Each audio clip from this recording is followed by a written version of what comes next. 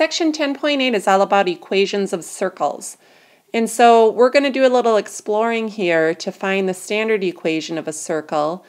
Uh, just like a straight line has a standard equation, which can be y equals mx plus b, a circle has a standard equation, and we're going to um, see how this standard equation of a circle is derived. If we look at this first graph here, you can see pretty clearly that if I were to connect these dots, we'd make a circle, but we want to do a little exploring here to help us find the equation. So the first four problems, we're just asked to find the distances of four segments on our graph. GC is going to be this distance, this segment right here, and if we count, because it's a horizontal line, the distance is just one, two, three, four, five units long. The second one, LC, is now going to be this segment on the opposite side. And again, because it's a horizontal line, we can just count. And when you do that, you're going to get 5 for LC as well. And you can probably guess number 3 and 4. NC, we're going to now do the vertical line from N to C. When you count that, that's going to be 5 units. And JC, we're going to do the same thing. This J value up here is off center a little bit, it looks like, but when we count that, that will be 5 as well. And so because we're just working with horizontal and vertical segments, we can just count the boxes on our graph.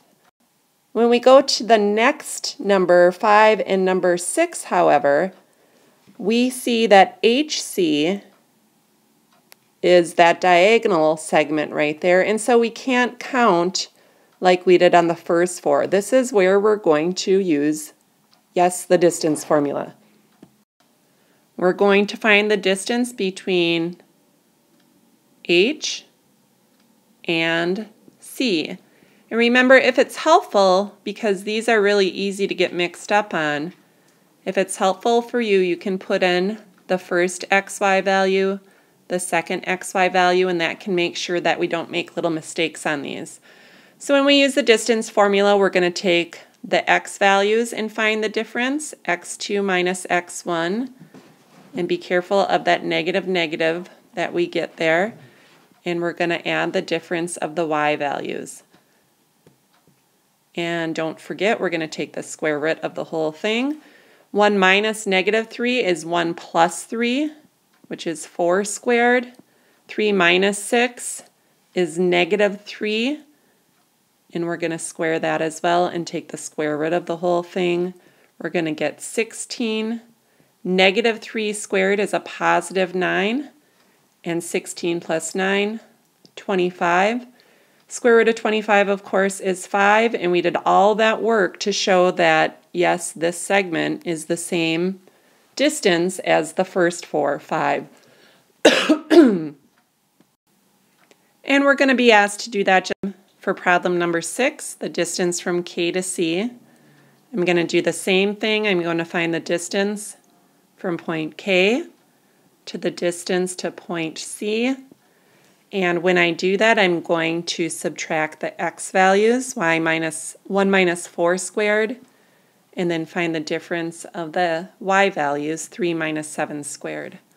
Don't forget the square root. We're going to get negative 3 squared plus negative 4 squared. And remember, when you're squaring those negative numbers, they're always going to be positive. Negative 3 times negative 3 is positive 9. Negative 4 plus neg or times negative 4 is positive 16.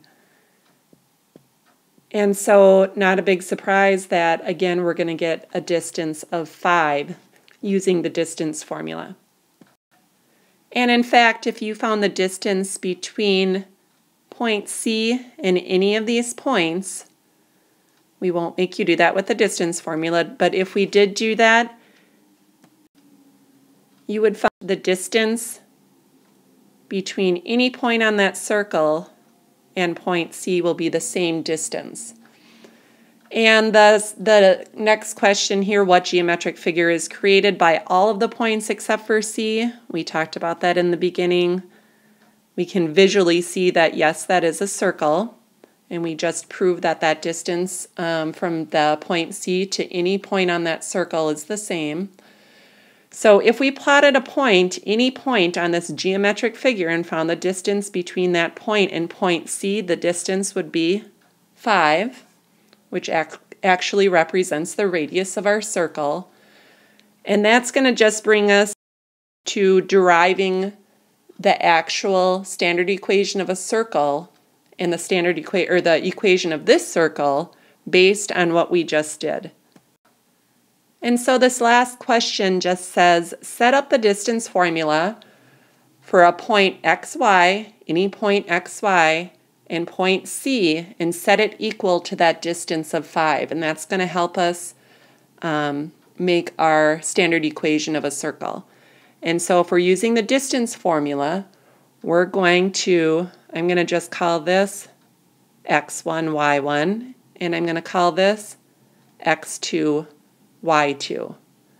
And so when I do the distance formula, I'm going to do my x value minus 1, square that, and then the same thing, the y minus the 3 squared, and we are going to um, take the square root of that, and when we did that, we found that that was a distance of 5.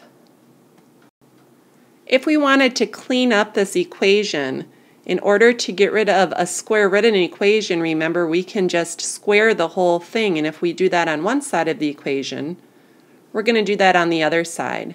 And when we square that, that's going to cancel out this radical and leave behind just what's inside that. x minus 1 squared plus y minus 3 squared equals and when I simplify 5 squared, I'm going to get 25.